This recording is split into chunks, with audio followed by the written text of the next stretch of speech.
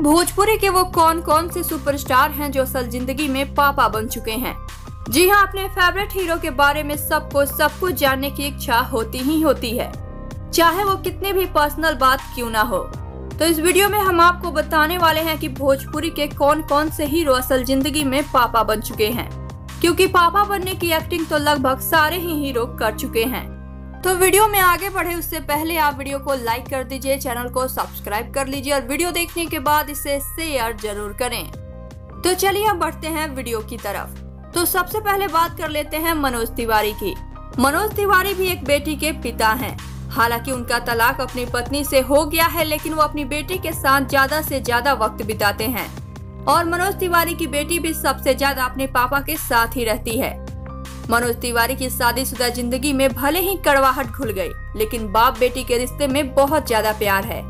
मनोज तिवारी अपनी और अपनी बेटी की तस्वीर अक्सर सोशल मीडिया पर शेयर करते रहते हैं। इस लिस्ट में दूसरा नाम है रवि किशन का। रवि किशन भी एक बेटी के पिता हैं, और इनकी बेटी बॉलीवुड में एक हीरोइन के तौर पर डेब्यू कर चुकी है। रवि किशन की बेटी का नाम रीवा किशन है। रीवा बहुत ही खूबसूरत हैं।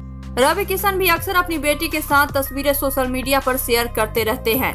बाप बेटी का रिश्ता बहुत ही प्यारा है, दोनों दोस्त की तरह रहते हैं। इस लिस्ट में तीसरा नाम है यश कुमार मिश्रा का। तो जी हाँ चौकी मत क्योंकि यश कुमार मिश्रा भी एक बेटी के पिता हैं।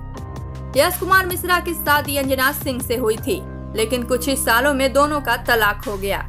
अब दोनों पति पत्नी की तरह नहीं, बल्कि एक दोस्त की तरह रहते हैं। इनकी बेटी का नाम अदिति है। और दोनों ही अपनी बेटी का ख्याल रखते हैं। यश कुमार अपनी बेटी को अपने पिता का प्यार भरपूर देते हैं। दोनों ही अपने रिश्ते की कड़वाहट अपनी बच्ची के बीच में नहीं आने देते। इस लिस्ट में चौथा नाम है दिनेश लाल यादव निरहुआ का। तो जी हाँ निरहुआ की भी शादी हो चुकी है और निरहुआ के दो बेटे हैं, राहुल और अमित, जिनकी तस्वीर आप स्क्रीन पे देख सकते हैं। निरहुआ के दोनों ही बेटे काफ़ी बड़े हो चुके हैं और निरहुआ अपने बेटों से बहुत प्यार भी करते हैं। इस लिस्ट में पांचवा नाम है खेसारी लाल यादव का। खेसारी की भी शादी हो चुकी है और खेसारी दो बच्चों के पिता हैं, एक बेटा और एक बेटी। बेटी का नाम कृति है और बेटे का नाम ऋषभ है।